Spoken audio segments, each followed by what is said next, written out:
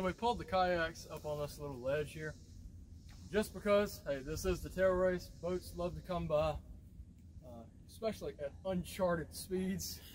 Through here, these guys would just go flying, causing a huge wake. And for our little boats like this tied up to the side, it'll basically just beat right up against the side of the wall. Or it'll even flip over sometimes. The wake will get under the boat and turn it over.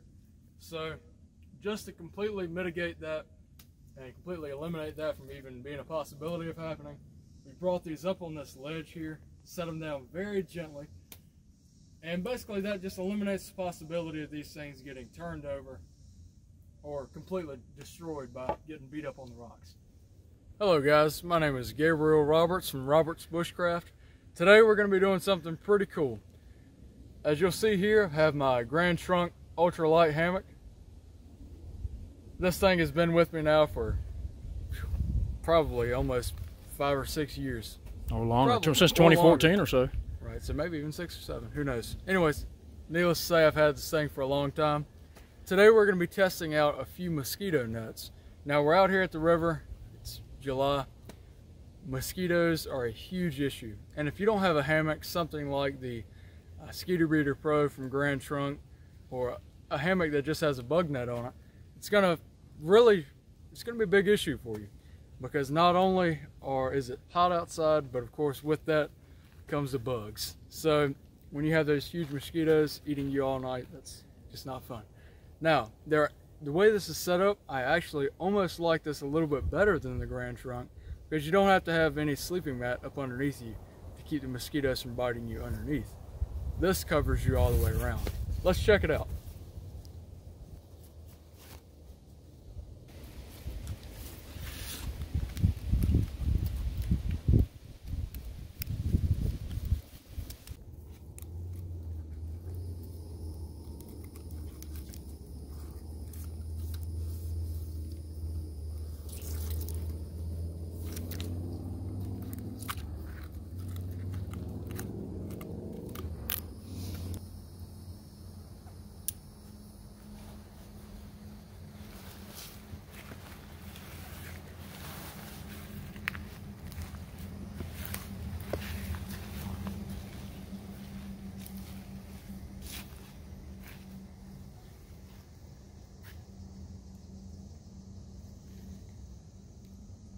So guys, we're gonna take this nut and go ahead and hang it on this hammock.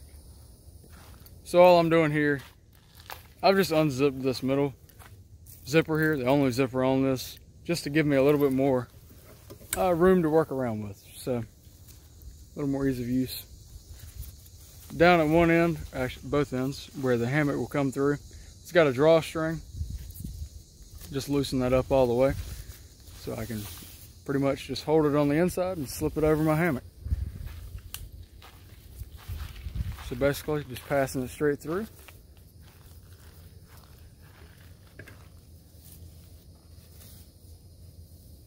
Now I'm going to feed it through the other side here. Trying to get it unbunched. There we go.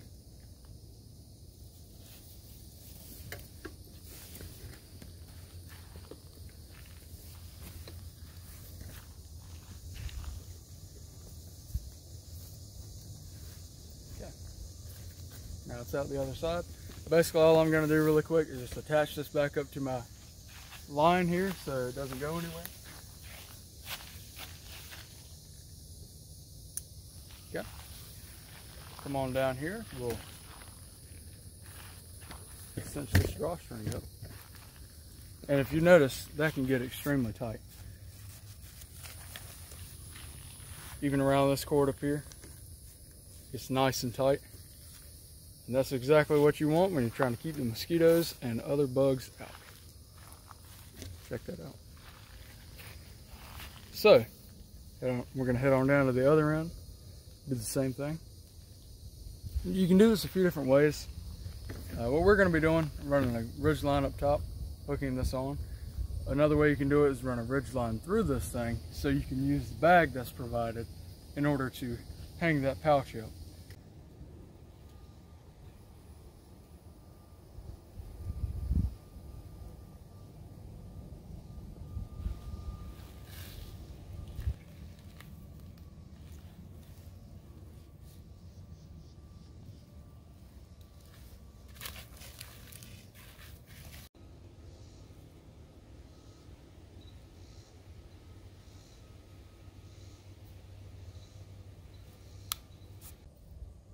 So I wanted to show you really quick some of the accessories that come with this bug net.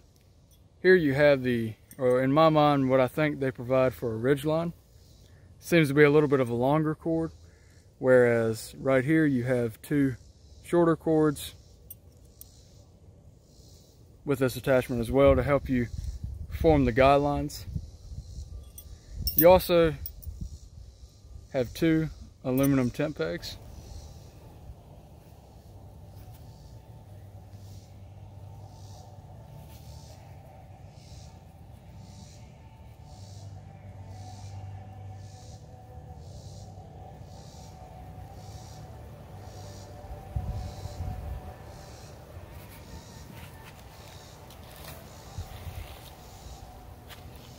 So one of the easiest ways that we found to stake tent stakes out in this rocky terrain, put the loop up like that just by taking the end of the line, running the tent stake underneath these two lines in the middle.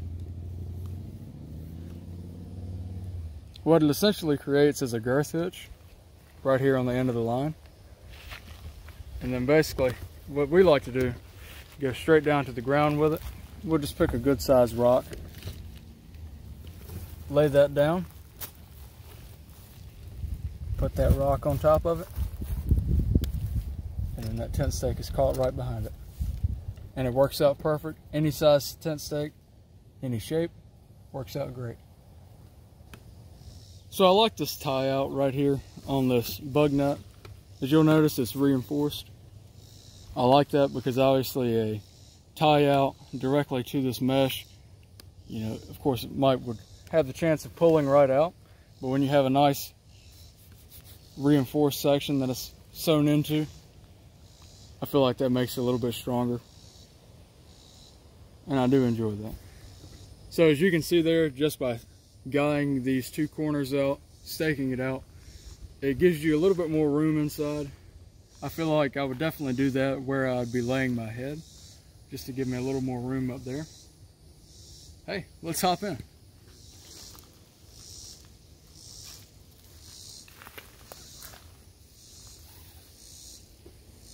All right, check it out.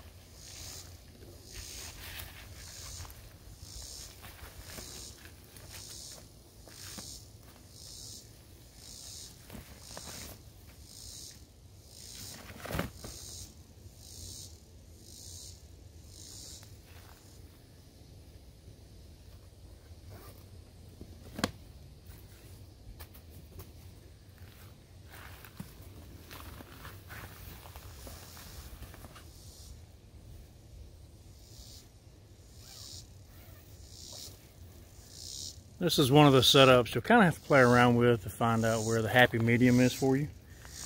As you guys can see, there's uh, plenty of room overhead.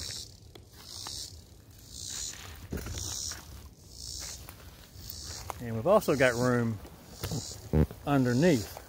And that is equally as important. Yes. Because mosquitoes can bite through Yes. your hammock. Vicious creatures. You know, honestly, having these tied out right here is nice because of your shoulders. Especially like me, pretty wide guy. If I were to sit down in here without these being staked out, my shoulders would probably press up against it. But, and then of course a mosquito could land on the bug net and bite my arm or my shoulder. So having it guyed out like that, I've got space all the way around me. So that's extremely nice what little breeze is blowing right now, I can still sort of feel it through here. You're going to get some blockage with these nets, That's but right. I would much rather be hot and out of the breeze than completely eaten up by mosquitoes. I'm with you on that. so one thing I just noticed in here, just taking a little look around, there's a little hook right up here in front of me.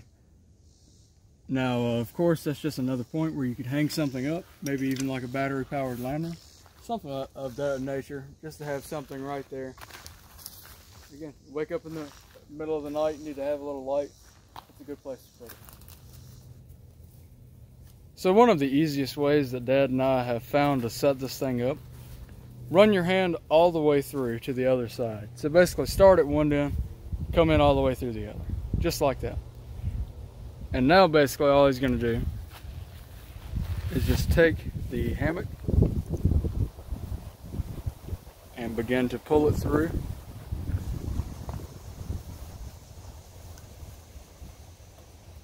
Just like that. Here we are at bug net number two. So this thing has really the only difference between this bug net and the one that we set up previous to this is that this one has a different shaped door. You'll notice the door on this one.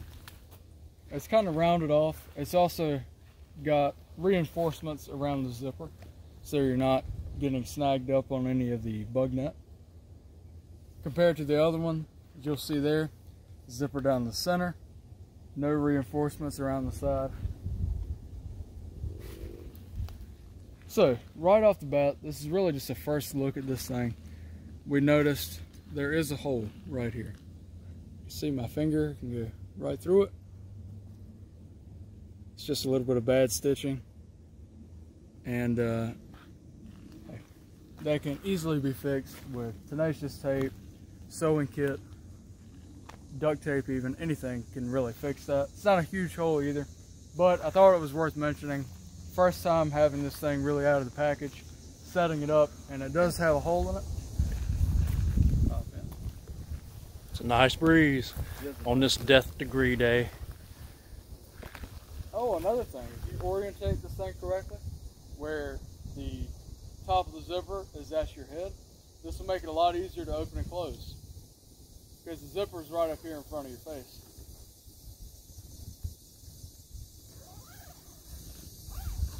It goes right underneath you. Nice. Well, pretty nice. Again, just for that one little hole right here. Yep. Only thing. Other than that, I really like this thing. This has a hook in the center as well. So that's just a, again, these are basically the exact same bug net. Just this one has a little bit different of a door with some reinforcements. This is actually very thin material right here. Piece that does have a hole in it, these reinforcements. So that might be prone to happen either way. So we've now run the ridge line through the inside of this just by going through the drawstring at the top on each end. Also run the bag in here. As you can see, it's open on one end, closed on the other. For you to be able to put bigger items, something like a, uh, how do we say, maybe a modern self-defense kind of device there. We'll let you determine what that is here in these pockets. Me all the time, I like to have a watch on me.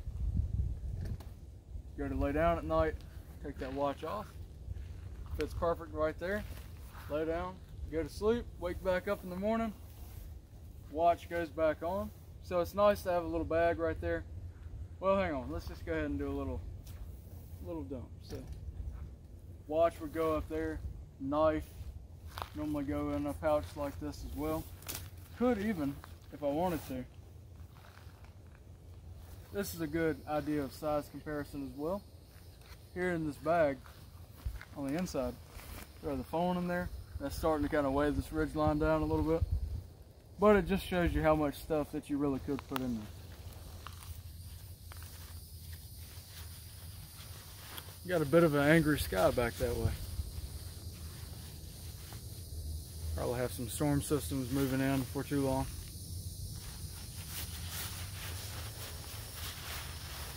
It's a little tighter when you put the guy lines in there with it. But, as you can see, still fits. Works just fine.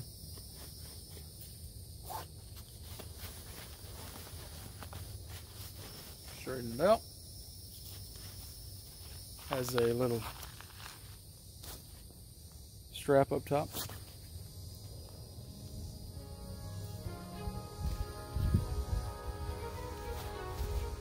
Just goes around.